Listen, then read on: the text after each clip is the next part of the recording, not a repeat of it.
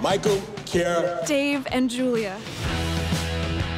Is that your girlfriend? No, that's just Alice. She's my friend from college. Man, come touch this kid's arm. He's so soft.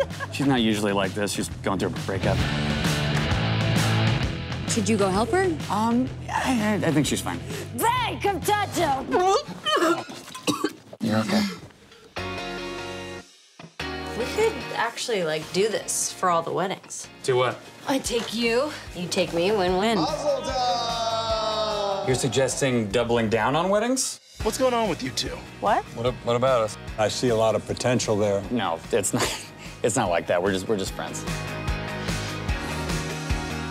What about tickle scratching? What is tickle scratching? We scratch each other's backs in a gentle way, but it's not weird. It's like, What? ugh.